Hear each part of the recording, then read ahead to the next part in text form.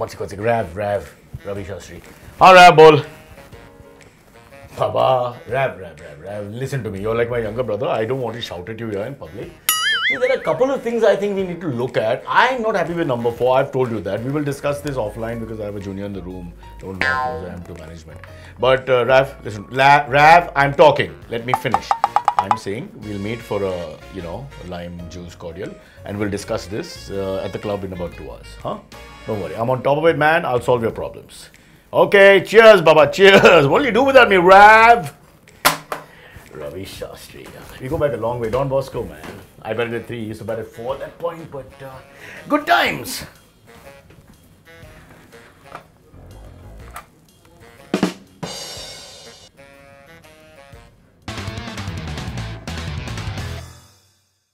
Yeah, so invited for the World Cup final. I don't know if I should go yet. I haven't decided. But you Which guys, World Cup? Shaun, will you be there? Which Huh? World Cup? Which World Cup? Uh, the carom. Pretty big. But let's talk about the beautiful game of cricket, and you have a story. I have a story. I'll ask one simple question and I'll keep quiet. All right. Did MS Dhoni get away lightly because he was MS Dhoni? What? Jason. Hundred percent, he got away line. with it. He crossed the line. He went overboard. If it was some other player, he would have got much harsher punishment than a slap on the wrist that MS Dhoni got. There's different rules for different people. That's life. Life is not fair. It's I understand that as well, the fact that it's MS Dhoni, but I, I think there's been enough media coverage around it, um, enough talk about it for people or kids to know that's not the right thing to do. Shaun, So- have you ever done that with a match official or referee? Have you, you know, aggressively I've six sworn foot? at umpires. I'm sure you must. And I've sworn at umpires. Oh, no, terrible. I'm Australian. I mean, you know, sometimes there are different rules, but sometimes I think if you've been a good behaved, a well behaved cricketer and done the right thing for your country and all that sort of stuff over time, maybe there should be a little bit of leniency. I, I, I completely agree with uh, Tati on that. I mean, l- listen, for me, I think quantum is not that important. Yes, it is important, but the fact that he was found guilty of doing something that he shouldn't have, that is more important. He also accepted it. yeah. And, and he accepted it. Most important part is conveying to people that what he did wasn't right. Last year, Shakib Al Hasan dragged his team and he walked onto the field Yeah. and, and then he threatened to take people off. Dhoni,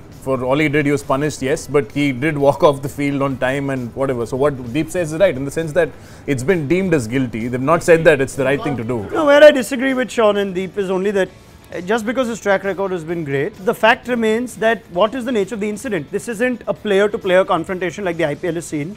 This is walking onto the field of play, remonstrating with the umpires, undermining their authority, and setting a terrible precedent. If this had been, let's say, a one match ban, okay, the harshest would be one match ban. So, if that this had been a one match ban, would it change anything at all? What has happened so far? Would I it think make any I think difference? it would. I think sending the sending the message that MS Dhoni will also be banned for one game sets the right message for me. to add on to what Ronak is saying, if punishment is to be a deterrent, then if you uh, like find the top dog the most, then the small puppies would never ever do it.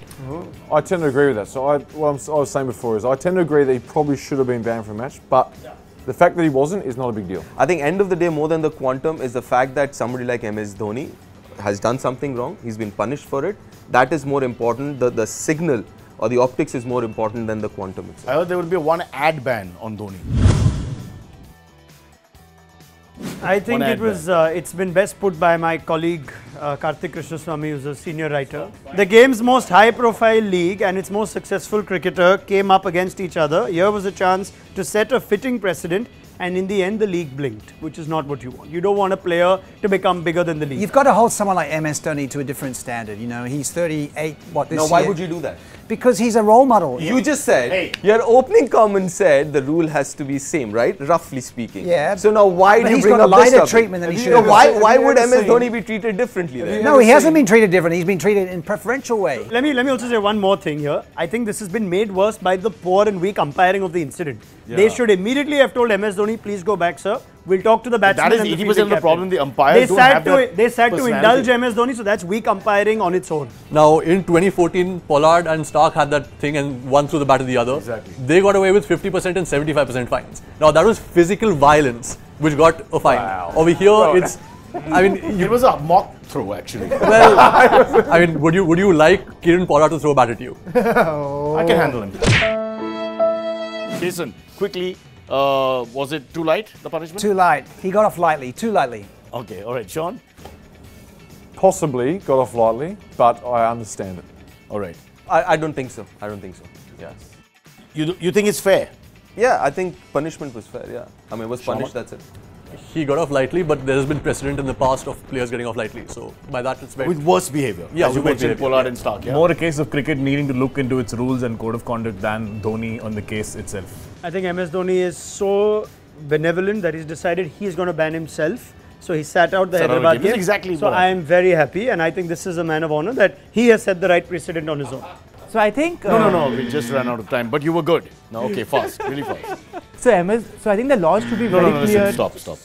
I mean, he's telling me in my ear that we can't. I think he got off easy. Squeezed it in, young man. Squeezed it in.